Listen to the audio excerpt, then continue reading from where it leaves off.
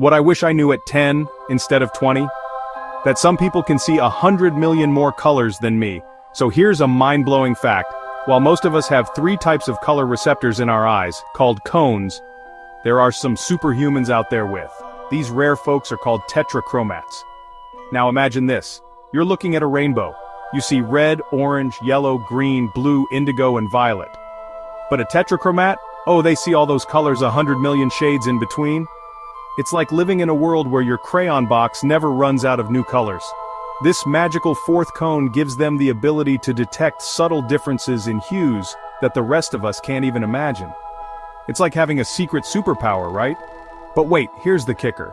Not all tetrachromats even realize they have this gift. Since they've always seen the world this way, it's totally normal for them. Imagine sitting next to a friend, both of you looking at a piece of art. They're raving about the intricate color details. And you're just sitting there like, um, it's blue? So, the next time you're marveling at a beautiful sunset or admiring a painting, just think, there might be someone right next to you experiencing a whole new dimension of color. Pretty cool, huh? So can you see 100 million colors?